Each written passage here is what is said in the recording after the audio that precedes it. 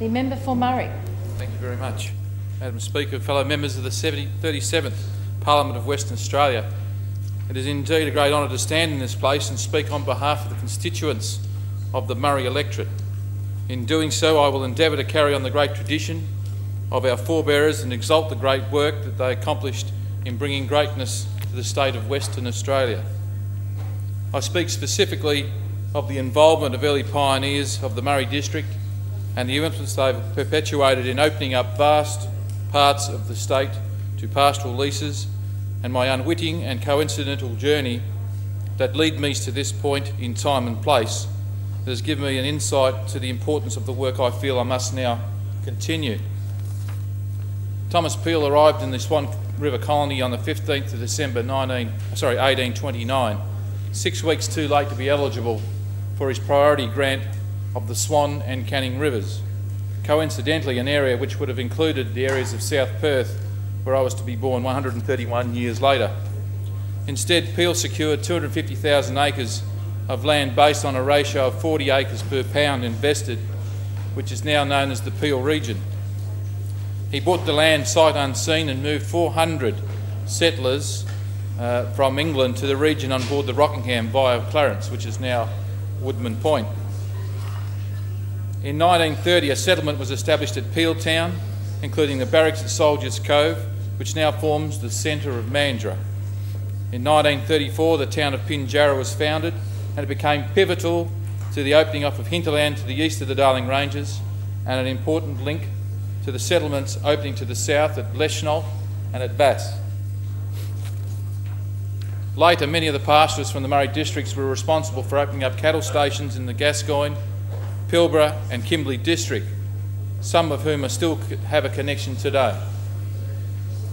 An area I'm familiar with, having cherished memories of my 12 years service as a police officer. Today, many of the streets and the roads of the Peel region bear the names of those early pioneering families, and certainly their lineage still remains an important and respected members of the community.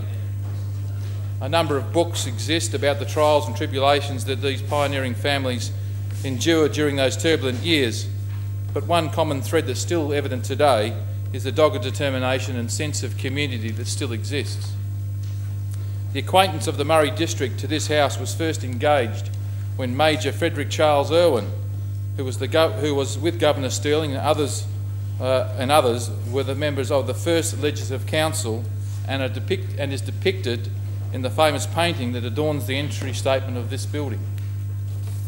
Major Frederick Irwin was accredited to establishing the first garrison in the Murray district and is now commemorated by bearing the name of the largest school in the Peel region, of which Mr Speaker, Madam Speaker and members, we've been fortunate to have been visited today by 84 students of the Year 9 of the Frederick Irwin School of uh, Mandurah. Again, coincidentally inclusive in this visitation, my eldest daughter and many young people known to me whom are lineal descendants of the people I speak of today. Thomas Peel, by virtue of owning so much land, was the next appointed to the Legislative Council, and after a strained relationship with a fellow magistrate with whom he challenged to a duel, later resigned. Peel was replaced in the Legislative Council by a Francis Corbett Singleton in 1844, a naval officer who had earlier purchased land from Peel for two and six and settled an area around the Dandalup and Murray River. Interestingly enough, Singleton was a fellow magistrate that Peel had earlier challenged to a duel. And Mr. Madam Speaker, and members from all sides of the House be reminded and reassured that factional fighting is nothing new to politics in this state, if not a little bit more subdued than in Peel's time.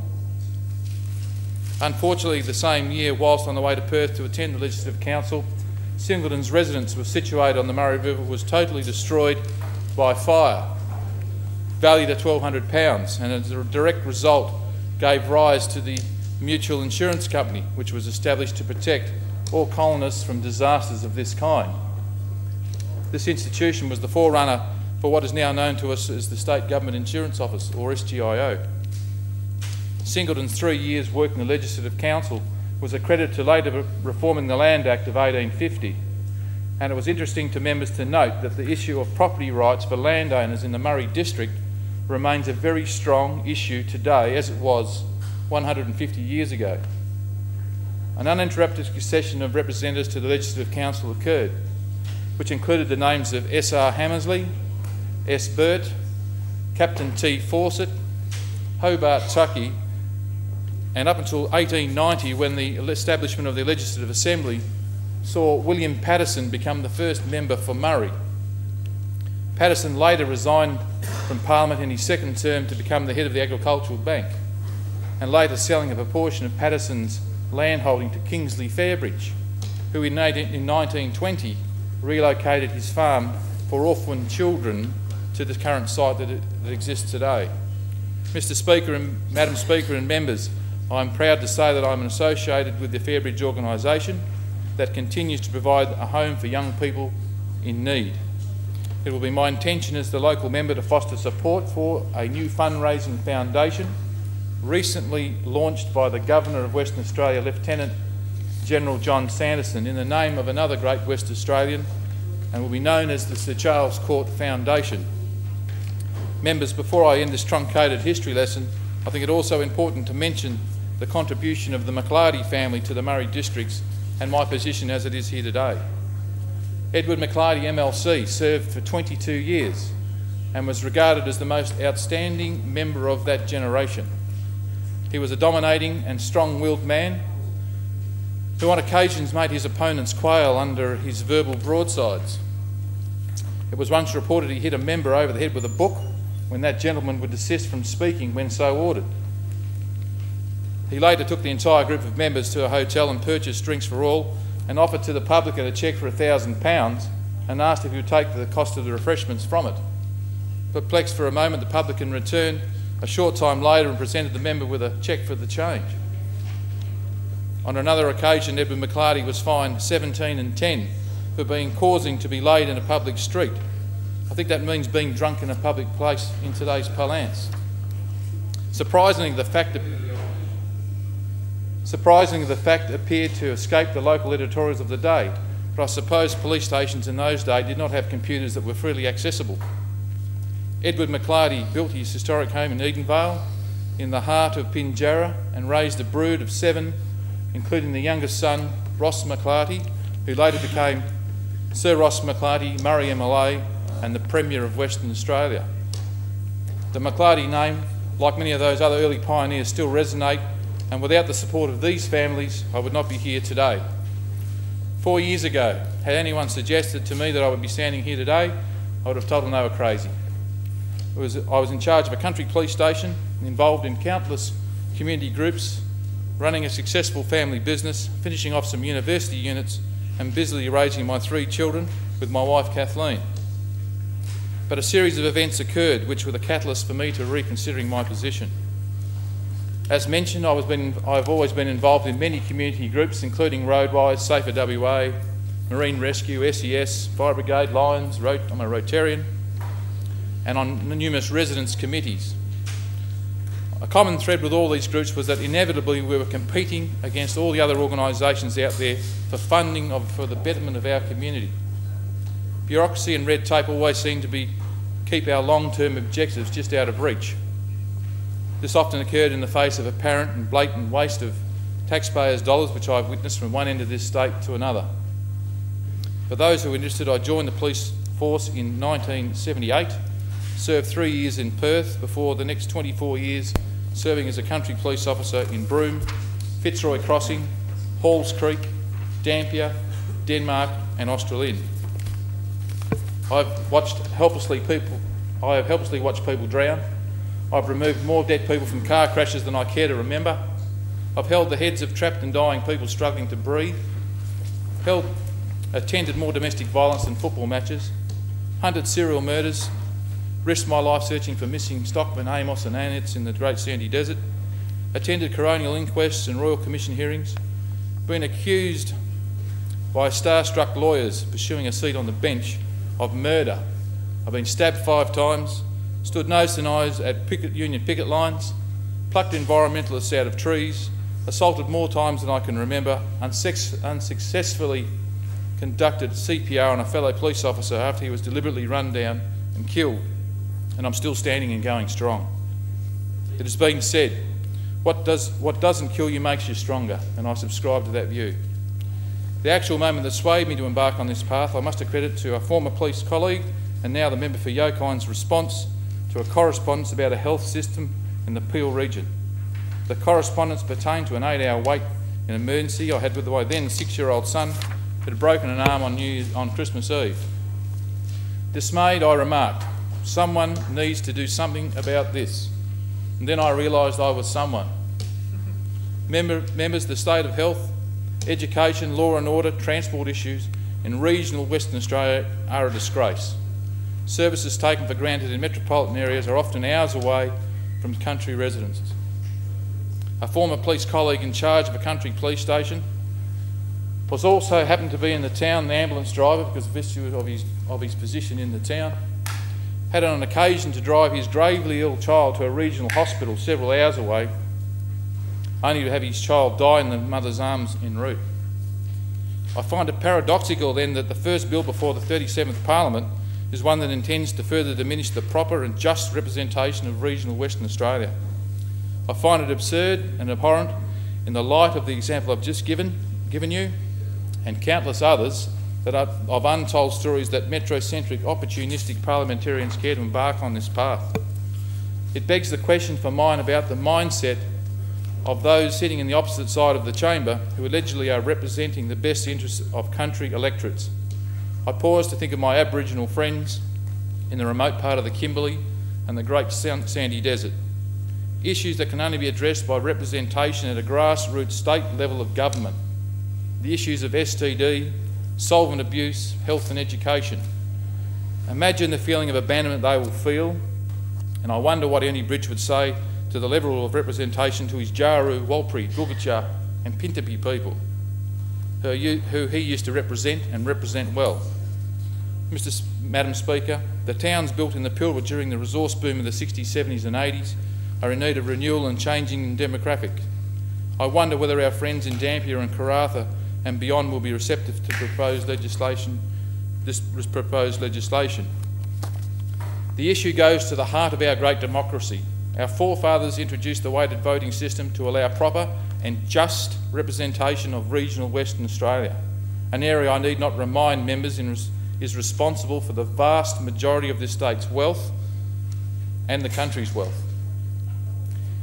It exists because of wise members of this House who went before us, recognised its importance. Listening to the proponents of this legislation, one could be led to believe that hospitals, schools, and police stations are bristling on every street corner of the vast network of well made roads in our regional areas. This is certainly not the case in reality, and like many folk, country folk, are deeply concerned about the degradation of society in regional Western Australia. This issue for mine is about protecting our greatest asset, the diversity of our individuals, their ability to express their views and not be relegated to a voice in the great expanse of this state. If you have not done so, take a back road and talk to some of the people who are the salt of the earth.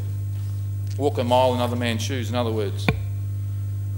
Lifeline is another organisation I fully support. They're in the business of saving lives of Western Australians afflicted with the insidious illness of suicide, an affliction I care to remind members is endemic and approaching epidemic proportions in regional areas. My colleague here, the member for Roe, has the unenviable title of coming from the suicide capital of Western Australia based on a per capita basis. As a police officer, I'm acutely aware of the problem and I take this moment to pause to remember the families left to carry on, some of whom are dear and close friends of mine. Help for one of the five in people suffering from varying degree of mental illness needs serious redress by, this by the government. The Murray electorate, as it stands today, comprises of an interesting cross-section of life as it is in Western Australia. It is unique in as much as it comprises of urban living in the west coastal parts of the Mandurah city, semi-rural acreage blocks where horse ownership is very high, agriculture in the form of beef cattle production, a number of small country towns and a large provincial town that acts as the service point for the agricultural business in Pinjarra. Throw into the mix the world's largest alumina production plant at Pinjarra and a timber milling tourist town of Dwellingup, and I think we have a we have a, we cover a pretty wide range of diverse people and lifestyles. It makes for an interesting challenge to represent as a local member, but given my background as a country cop in rural WA, I believe I've been conditioned to and have been unwittingly trained to take on this important job. The issues of particular concern to the electorate are the health of the Peel waterways, the nutrient runoff, acid sulphate soils, the erosion of banks caused by speeding boats.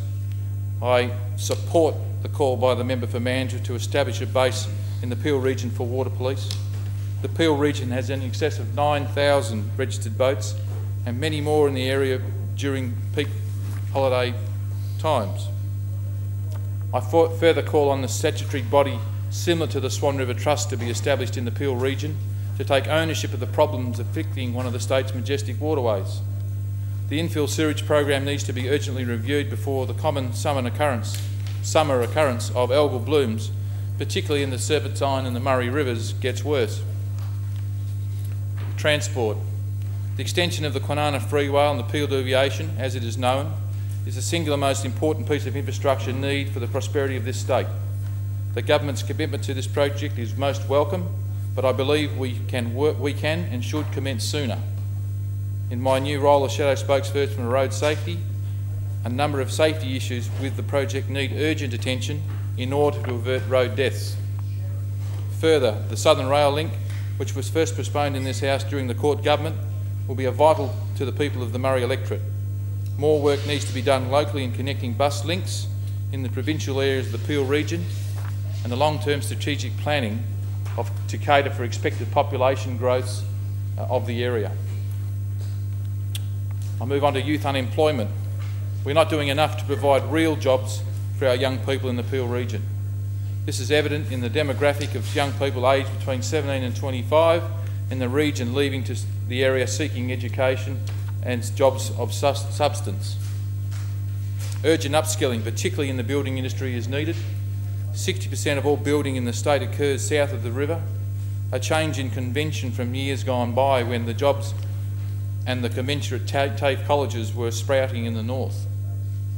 I declare a vested interest that of, and that of my constituents of this issue. The demographic of young people between 0 and 15 in the electorate, particularly those coming from overseas to this great state, is enormous and forward planning is urgently required to address the jobs prospects issue.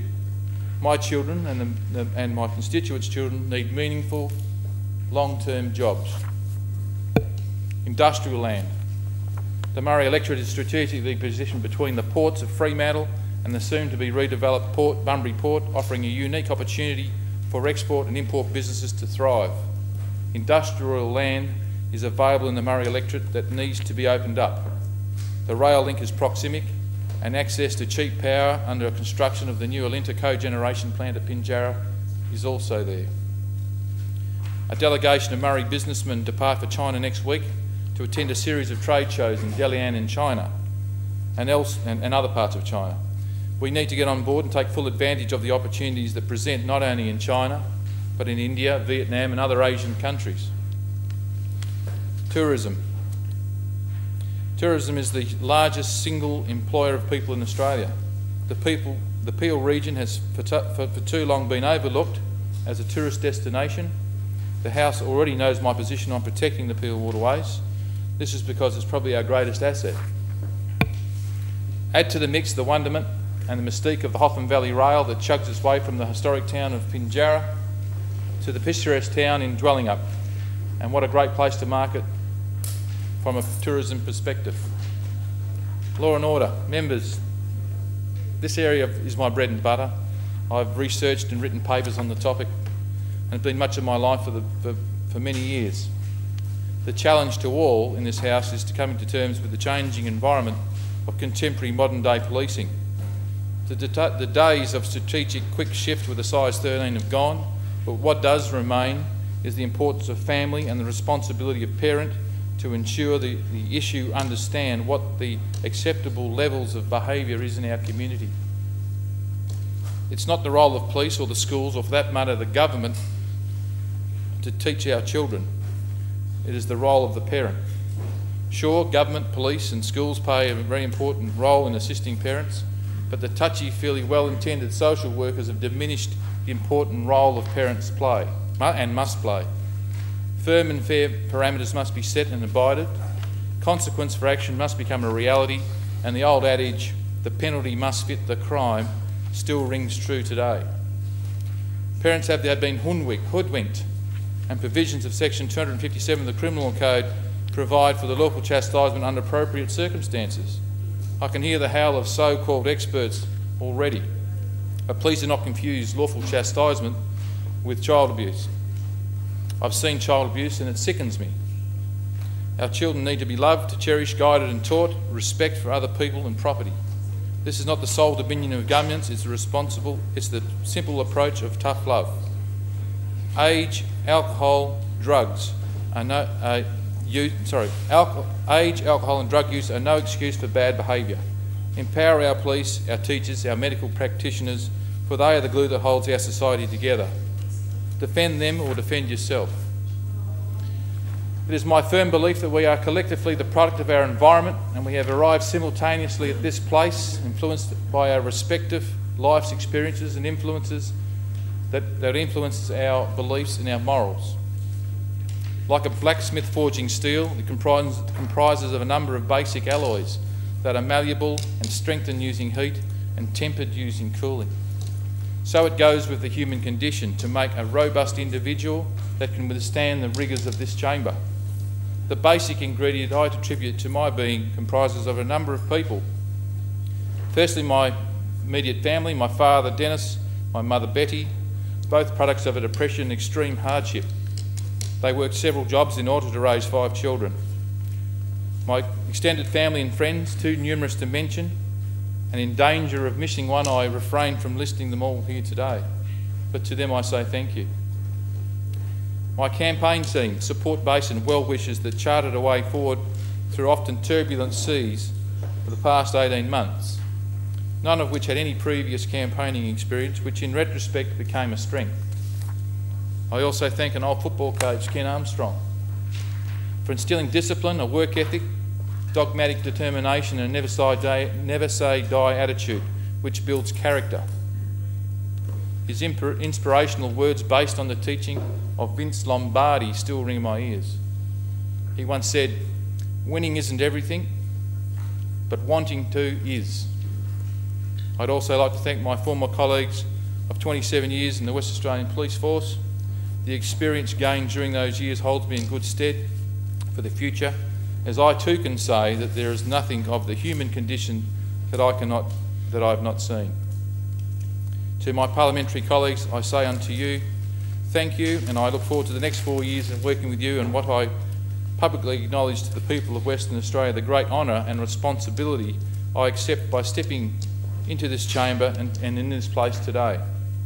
Lastly, but certainly not least, my wife Kathleen of 21 years this coming Thursday, my three children, Kelly, Kimberly, and Thomas, who have um, been with me, particularly through the critically the last, the last two years. Members of the 37th Parliament of Western Australia, I bid you all good health and sound judgment for the next four years and beyond. Thank you.